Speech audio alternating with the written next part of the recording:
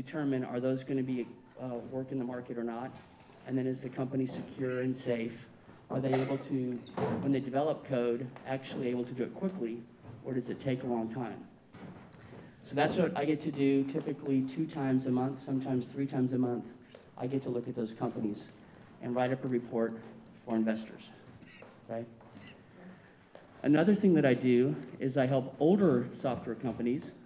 Just in December, I helped a company here in Austin, and they've been in business for about six years, and they make software to help dealerships, car dealerships, rent cars to their um, to anybody that wants to rent cars. Have any of you ever seen a car dealership rent cars? Anyone? Yeah. So that's a fairly new concept, though, and so they're trying to determine how to build that. But this team that I was working with who was struggling, and they were having a lot of trouble just coming up with new ideas. So we'll spend about three days with the team in their office. We look at their drawings of their architecture. When I mean by architecture, this is their software systems. How well do they work? And we help them overcome some of these challenges. And then we have about a week or two to write a report of recommendations. Okay? So this is a company that may be struggling that needs help in order to grow their computer systems and really to grow their market. The third thing I do is, and I'm an interim, meaning I'm a temporary leader of a company. So right now, I'm helping an electric bicycle company with their computer systems. Okay? This company is about 15 years old, and they're one of the leaders in electric bikes. So the founder, he is only 32 years old, and he invented his electric bike. He lived in California, and he just strapped an electric motor to a regular bicycle, and it started taking off. What do you think his first computer system that he really needed to do uh, for his company? Any guesses? What? Buying the bikes, yeah. He needed an e-commerce site, right? So he, well, you mean buy them to, to in order to, to, to sell them or to buy the parts for them? To sell them to the public, yeah. Yeah, so he needed what was called an e-commerce site, okay? How many of you, have any of you built your own e-commerce site yet? Have any of you played with one at all? Okay, tell me what did you what did you like about the site? Did you make it from scratch or did you use a template or a tool? A template, yeah. Uh, was it a WordPress site? Shopify, there you go. Well, that's this company started on Shopify, and they're still on Shopify today. How was it easy to to get going on Shopify? Yeah. So they're actually outgrowing Shopify, which is a good sign. That means they're making a lot of money, and it's very difficult for them to um, modify their Shopify site. So when they first built this uh, their website, you know, they had all these really cool videos of, you know, guys that are probably your age, maybe 20 years old, jumping their bikes. And when they found out who was buying the bikes, who do you think buys these electric bicycles that are $1,500 to $2,000? Not kids, exactly. My age, right? 50 and older. So they had to, they wasted all that money on all that video and all that cool marketing, so they had to rapidly change and redo their whole website. So those are the kind of the fun things. So now their Shopify site has gotten so big, for those of you that know Shopify, they have to put what's called split that site apart. And so how do you keep that website running all day long? You can't take it down, but start taking apart pieces of it and say what runs in Shopify runs in different systems. We call those strangling off patterns. And so you have, but you have to keep the business up and running. So that's the kind of stuff we're working on with that company. And they also have, uh, they need a lot of systems now. They are up to about 30 or 40 different systems some just to manage the manufacturing of the bike. Four or five years ago, all of their parts were made in China. And as you can imagine now, that's been very risky having everything made in just one country. They've had to diversify and get manufacturing in other countries in Southeast Asia. With COVID, it's been very difficult for them because they put all these bikes on the ships, right? And once it leaves, once it's on the ship, they have no visibility where it is across the ocean. So people have ordered that bike and they don't know when's their bike going to show up. So they really struggled last year just letting their customers know where's their bike, is it on its way or not. Now the company has grown. They sell not only online, but they have stores in some markets. They also have vans that will drive and bring you a bike to test ride. seems expensive, but anytime someone rides a bike, they uh, are much more willing to spend that $1,500 once they've rode the bike because it's in a very different feeling on that electric bike. So, rapidly growing company, they're doing well, and uh, so it's pretty exciting stuff. So, I get to do all three of those things at the same time. And uh, the fourth thing that I do is I teach classes. So, some of the, our clients will come in and we'll teach them two or three days these important concepts how to make sure your computer systems scale. So, for example, I looked at a company a year ago. Uh, you guys use it all the time, Pear Deck. You guys all use Pear Deck? So I only had about seven or eight hours to look at that software to make sure that it was scalable. Has your Pear, have you guys had any issues with Pear Deck going down? Have you guys had any issues with other systems going down? Schoology? Yeah. Those are the kinds of things that we do to help those systems go down. So they're not one of our clients yet, but those are the those are the challenges that you would have if you go into those kind of companies is to make sure not only does it work well, but it has to always be up and running. And that's a lot of engineering. So how did I get to this point? Well, I graduated uh, from UT with a degree in mechanical engineering in 1993.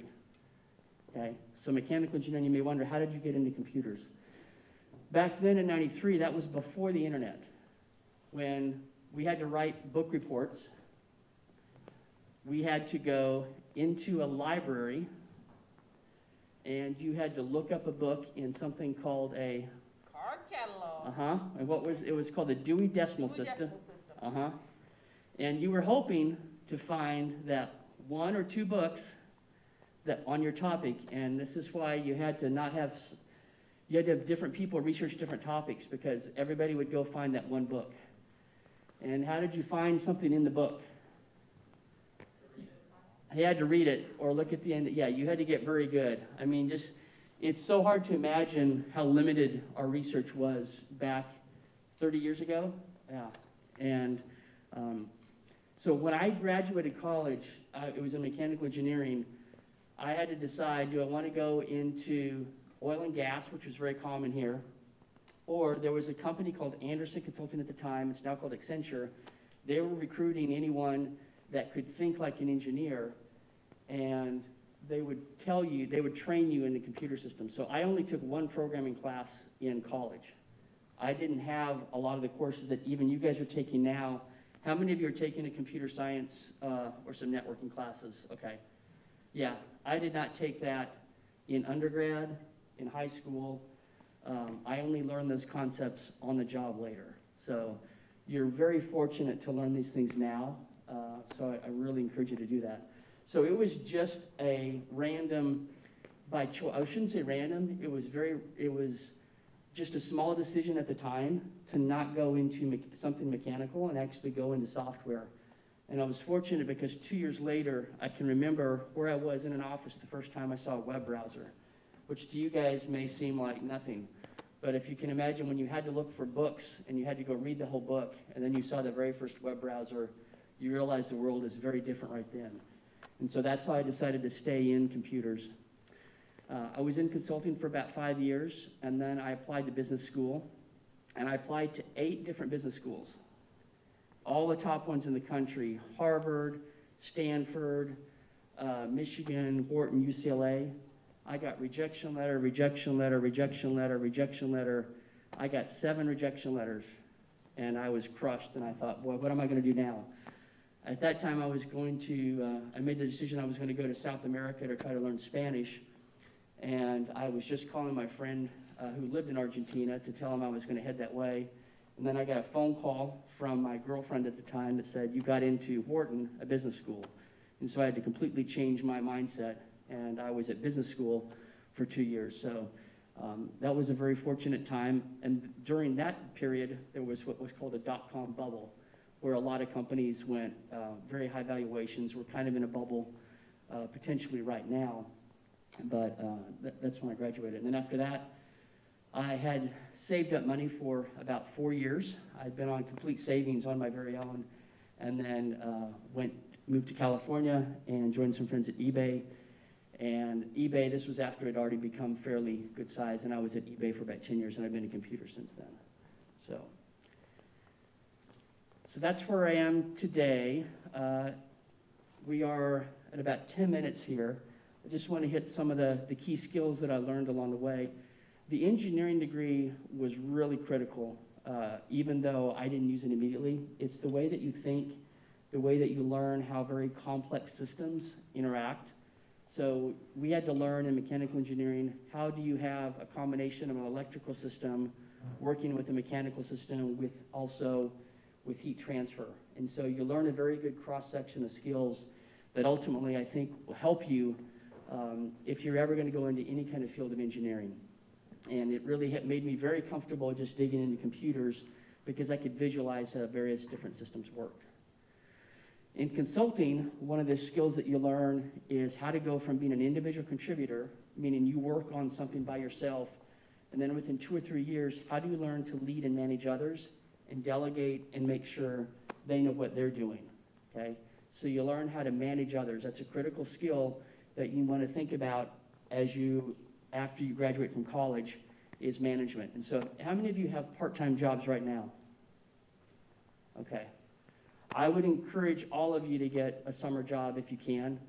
Um, and even now at this age, it's one of the more critical skills because one of the things that you're always going to need is the ability to sell. When I say sell, is persuade and speak to others. And if you can do that at this age, because most likely in college, you may not, it's harder to get a summer job in college that where you get those skills. You're probably going to be very focused on your, your career path. But any job you get right now where you get to interact with adults that are frustrated, it's a very good, a very good experience to have right now. And I can tell you, a hiring manager can tell by interviewing you if you've had that experience because you're going to be able to handle the situation. I know you guys are in a great school system here. You do a lot of teamwork, and so you won't have a lot of the dysfunction that I've seen uh, hiring from some other schools because most kids here are very well prepared. And then I'll, I'm sorry I didn't catch your name, but I'll echo what Monica, Monica yeah, what Monica said when you go to undergrad, you know, don't assume you're going to get all A's. I had straight A's in high school. I had to very quickly adjust to getting all B's in uh, undergrad, and then very quickly in grad school to even be getting comfortable with just C's in grad school. So don't beat yourself up. Just make sure that you understand the concepts and pass, and um, you know, don't don't get too discouraged by that. So we have about nine minutes left. Any questions about what? Yeah, go ahead. Um, do you often participate in venture capital? If so, is there a difference in the amount of time you get to spend on a, on a you know, smaller company than when you're just doing like Yeah. So how many of you, uh, do you know the difference between venture capital and private equity? You do. Okay, some of you may not know that. Venture capital is typically the very early round of investing. And so in the very early round of investing, you're, you're not necessarily looking at, you don't do as much due diligence as what I just described. You're actually investing in the people. Do you trust that person? Has that person have a winning record? Can, do you think they can sell and lead others? And so typically we're after what's called venture capital. Venture capital really doesn't even get time to do that due diligence. They get a phone call to say, hey, you've got a few hours to invest like $2 million. And so there's not enough time to do that. That's all built on trust. So I work with something called private equity, which is a little bit different where there typically it's a larger amount of money. So venture capital typically works at about 5 million to 10 million. Private equity is the next tier up though, okay? But yes, I do get to work with the earlier round venture capitalists though. Any other questions? Yes.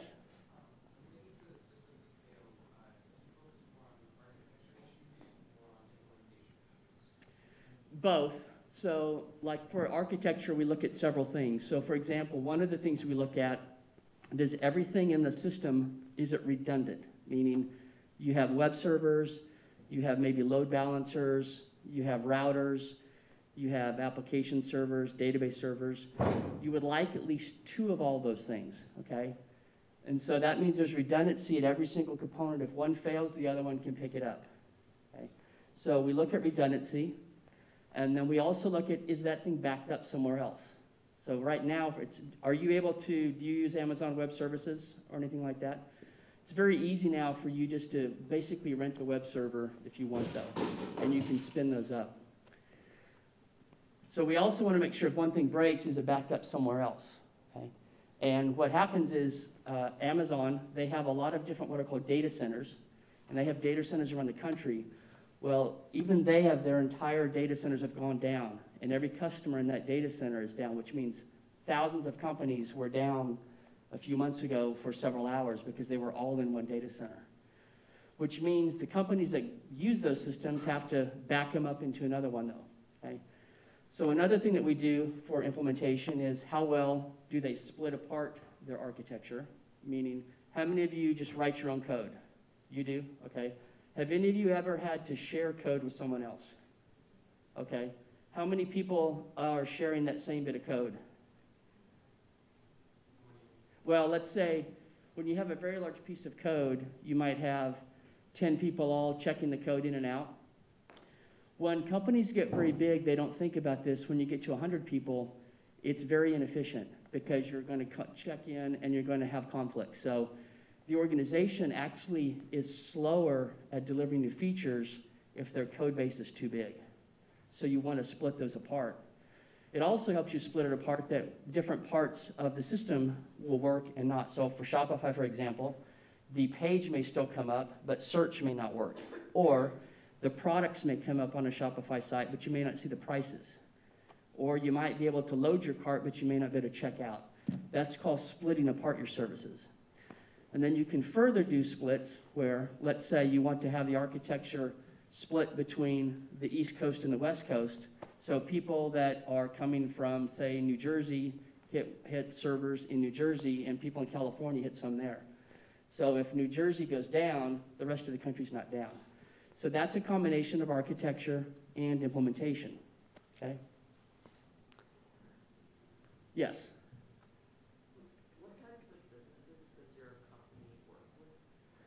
So we work with anybody that has uh, software as their primary business. They sell software, okay?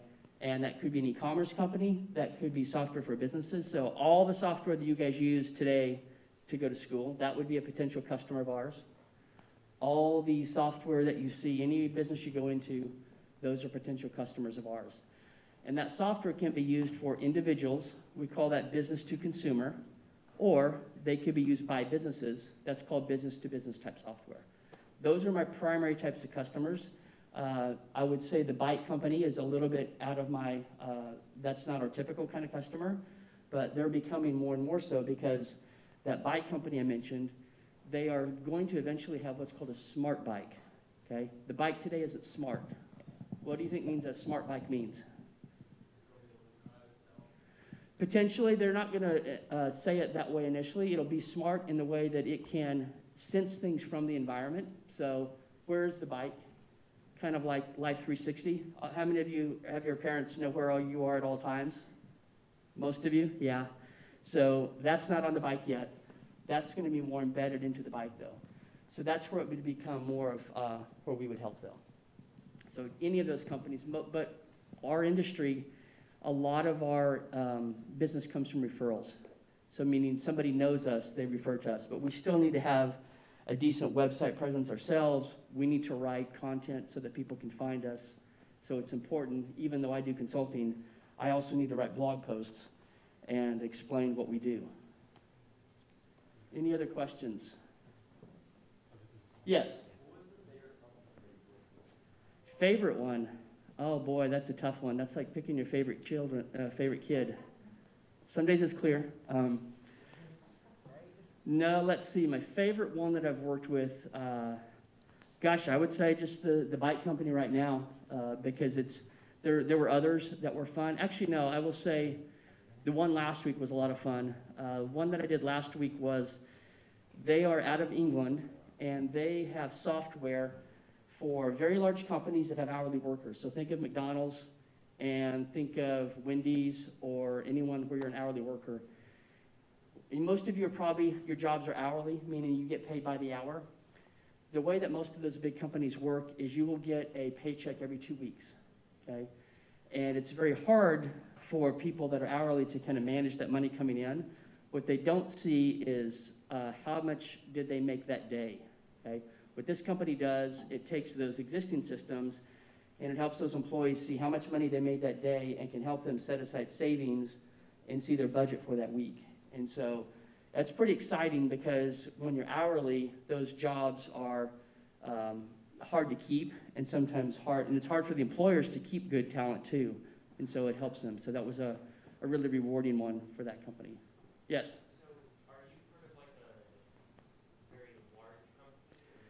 No, it's very small. We're only, uh, we're under 20 people. Yeah, very small. Right before COVID, I was expected to travel 40 weeks a year. Uh, every week I would be gone, and, uh, but I joined the company the week before COVID shut things down. And I've only been on the road twice since then.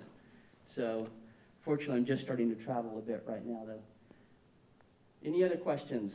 Yes? Is that size just preference, like you were talking about how the school might be more efficient, or, The size of my company? yeah? Well, uh, it's interesting you asked that. One of uh, the things that our founder believes in is small, durable, autonomous teams. So he actually, after he retired, he went and got his PhD in research. And one of the questions was, why did, and he was ex-Army, and you guys are probably too young to know this, but in the first uh, wave in Iraq, a small group of special forces was able to wipe out the Taliban in just a few months. And then later, we brought in larger waves of the, of our entire military, and some would argue, good or bad, we've, we're, we're no longer there, and you could say we, we lost.